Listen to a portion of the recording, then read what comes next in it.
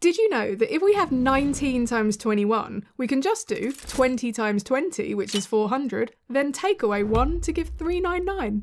Let's do that again. If we've got 49 times 51, we can just do 50 times 50, which is 2,500, then take away one to give 2499. It's like the Goldilocks of mathemagic tricks. One's too hot, one's too cold, but that one in the middle is just right. The idea is that if we take any number and multiply the numbers either side of it, the answer will be one less than our number multiplied by itself. And because of that, if we're faced with a 79 times 81, we don't need to panic because help is nearby.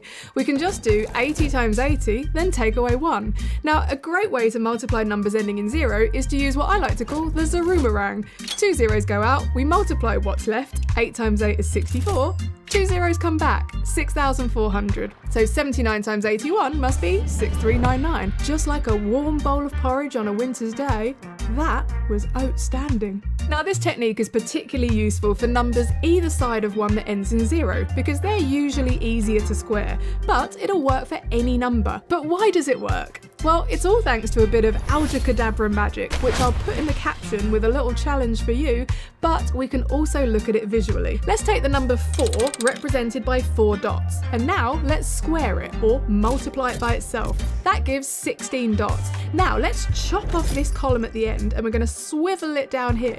It's still the same amount of dots, just rearranged slightly. But look what we have here. This rectangle represents the multiplication 3 times 5. Then we've got one extra dot all by itself. So 3 times 5 is 1 less than 4 times 4. And what I love about this technique is not only is it great in a mental math situation as well as in an exploration of multiplication and squaring and algebra, but it can really improve our confidence with calculation. In many countries, the maths curriculum at school is so jam packed that it leaves teachers and students with very little time to explore, to experiment, to play. If we don't get along with the few methods we're exposed to, we might think the subject is just not for us. It's like going to art class and only learning about crayons. What if graphite's our jam? Or glass paint? Or gouache? Maths is no different. A method like this shows us that there are other ways of colouring the canvas, and we can find the ways that work for us. But at the very least, it shows us that we can turn gruesomes into awesomes by looking to nearby numbers that might be easier to calculate with.